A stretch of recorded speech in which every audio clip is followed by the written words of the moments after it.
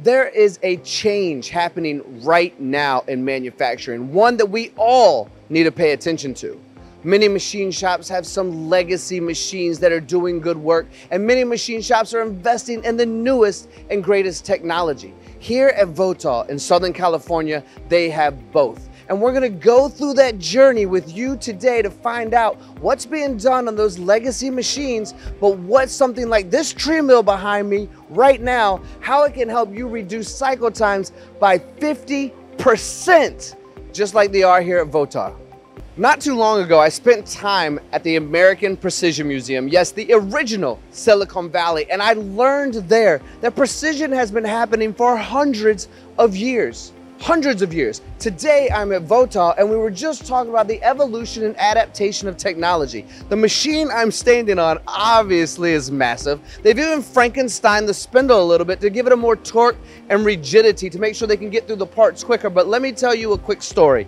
The young man who runs this machine is about to retire. He just put 80 holes in a part with a plus or minus of 10, but he was able to do 80 holes with one thou difference. When QC called, they said, who did this? When they said they did it on this machine, and this is manually done, where the man winds it up.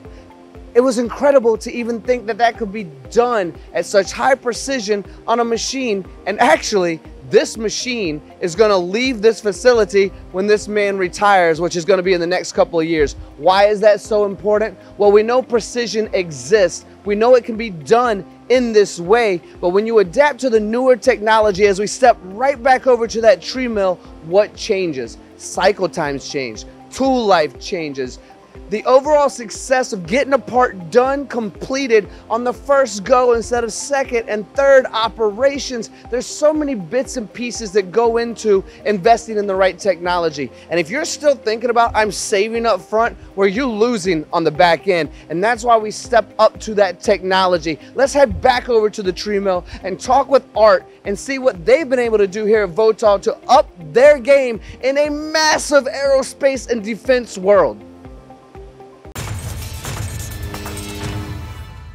Art, thank you so much for jumping on camera with me. I, have I've actually jumped from the front of the machine to one of your older machines, talked about the legacy that's over there, the gentleman exactly. that's been with you for so long. But it's really important to iterate, not just reiterate, but iterate exactly. what happens when we invest in the newest machines, when it comes to quality of parts, when it comes to time savings, when it comes mm -hmm. to mm-hmm. secondary operations. When you invested in this Trimill, you probably had some expectations of what you hoped it would do. Exactly. But what has it actually produced for you?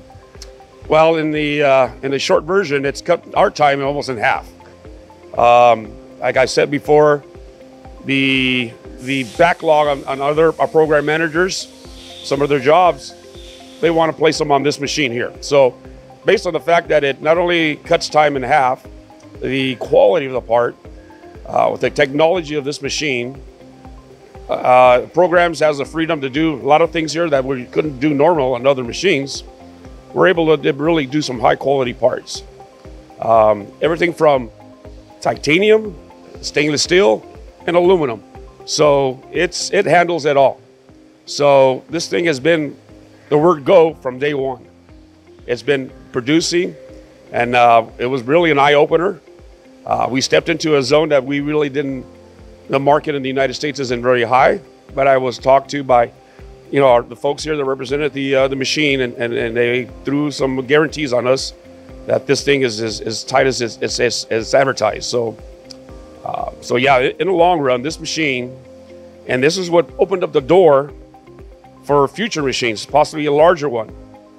Uh, the uh, so everybody from the floor up has seen the results and this is basically what you get when you pay you pay for a good quality machine. So it sounds like it almost exceeded your expectations because your expectations were already high, but it sounds like it did. So much yes. good happened. Part of our business studies on this was to is going to save 30%.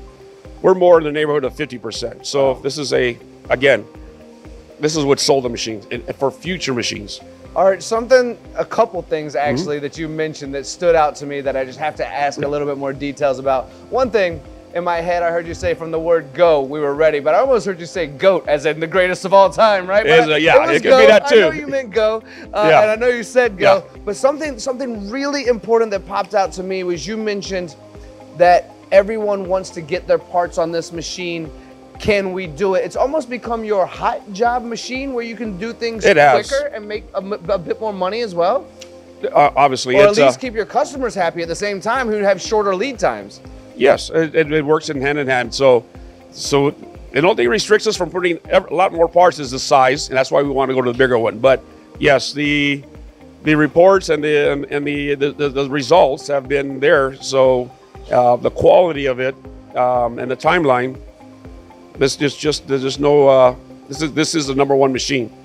Uh, Yeah. in our, in our uh, in this size of machine work that we do. So That's perfect. The other thing that I want to bring up, and you've said it several times, Mm-hmm. quality. You said quality. You must have said it three, four, five times at this point. I've been into your CMM room. That room, the entire room is like a CMM. You got such a large Yeah, one yeah, in there. yeah. But what's important to understand is when you say quality over and over again, you're not measuring meticulously every single part and area because you know it's coming off good. So you're actually saving time there as well. no, it is. It, it took um, and then in our quality, they're very you know very uh, um, you know checking it checking the box at every point. Um, we've gotten to the point where we have the number of parts repeated jobs that first article were where we needed to be. The t- second one we inspected on the machine or uh, with our lasers on the machine, and again results were good. So this led to us to having uh, the confidence of having a uh, uh, uh, operator buy off, machine buy off, uh, and the repeatability that this machine re- uh, produces has reduced our quality time. I have a question for you, Art. We're standing in front of a big machine. If I look around, that's all I really see is big machines around Yeah. here and big parts. How expensive is it when you scrap something from a lack of quality? The labor is not always the biggest thing. Sometimes it's material. Uh, as you might uh, maybe you've seen throughout the shop, we have some very very expensive material. Uh, not only the, the cost of the material, but the fact that it's uh, long lead. So if something happens that it's deemed scrapped, which we hope it never really happens, but when it does, it's it is a major impact in our in our our pocket. So the fact is that we meticulously go through every program, operations, the tooling, and a machine like this can produce. It really, really puts us a little bit at ease at night when we go to bed. So, yeah, we want to make sure we we um, we um, give the right tools needed to to compete with the market. This is one of them. So, um, in order to keep on capturing work, a machine that needs to do the quality work. And you're getting a restful night's sleep. I know you've Uh, been yes. doing this for a long time. It's good to hear you're sleeping well. No, yes, exactly. So we, we have a lot of expensive parts. This one might be here, but we have, throughout the shop, we have titanium that can be very, very thick slabs of titanium that's very expensive. So, um, so as you can imagine, all we need is a hiccup. So it's more of the labor, uh, not necessarily totally the labor. It's more of the Material. material and then Yeah. their reputation with our customer. We're going to be late. So, so we look at it that way more than anything else. Uh, material, labor, you know, uh, disappointment, and um, and the fact is that we, we, we'll make it in a heartbeat if they, we can get back to time. So, um, so that that is basically um, what, what saves us here is that we're able to trust this machine to repeat. Yeah, great point. The last question I want to bring up is about tooling itself. Now, I Mm-hmm. don't know if you look at the numbers of your overhead for tooling costs, but I can imagine it can be up there. It's a Mm-hmm, Oh, yes. consumable, right? We It is. we break them, we overuse them, we underuse them and rub them. Now, I can imagine that that overall overhead may go down if we're using half the amount of tools required because Exactly. the rigidity is there, because the balance is there, because the precision is there. We're even saving money on the tooling side of things as well, aren't we? Yeah, it, it, it, really when you got a nice rigid machine running true and able to run the uh, the RPMs that we, we need to in order to meet the time, the the cutting rate is, is great. You know the the tool life is, is, is designed to cut at a certain speed and feeds whatnot, eh, but the rigidity needs to be there. So not only the tooling savings, but it also saving uh, in us to do any hand polishing, any uh, any of that blending we need to do when we have step overs. This machine will cut when it cuts, it cuts clean. So it reduces not only the, the tooling but also in the deburring. Yeah.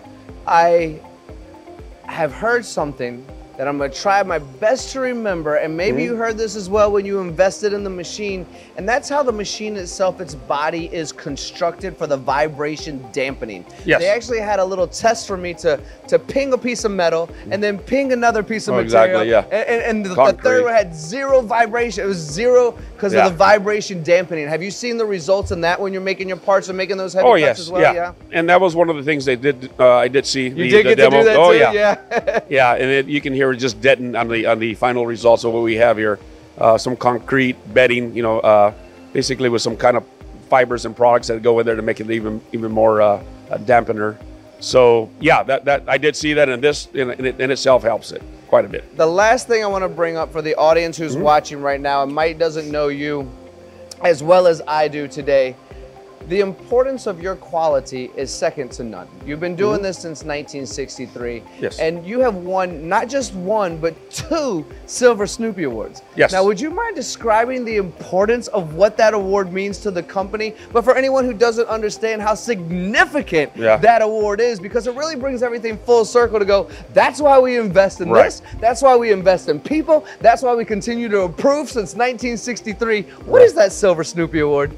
Oh, it's big because it's one of the highest, highest uh, awards given by uh, NASA themselves, and uh, and it's actually presented by an astronaut, and who relies on their life or our product for their life. Uh, everything has to be made perfect. Everything has to work. Everything has to meet the tolerance and the design work. So that recognition of product that we've made, product that we helped design some of the work, um, and that's where that comes in. And this silver Snoopy is not just given out every every year or so. It's it's basically you have to be uh, that high end quality, uh, high end results in the product that you put out to these folks. So yes, it's flight hardware is a different animal altogether. Requires quite a bit more uh, uh, tolerance work, more inspection time on, on, on the customer side. Everything has to be perfect. So, and again, this is where this some machine like this, um, we can we can we can assure that we will get you know exactly what they're looking for. Well, Art, you, my friend, are my hero. I appreciate you today. Thank you. For everyone who's watching this right now, we're not just going to leave you hanging on some of the what what Art and I described just now. We're going to bring you a factory tour as well. So if you have not seen that yet, stay tuned. Change the channel. Another YouTube video. Go check out the factory tour here at Votaw with Art and I. We have so much to show you. Thank you all for watching. Time is the one thing we cannot manufacture more of, and if you shared it with us today, we certainly do appreciate you.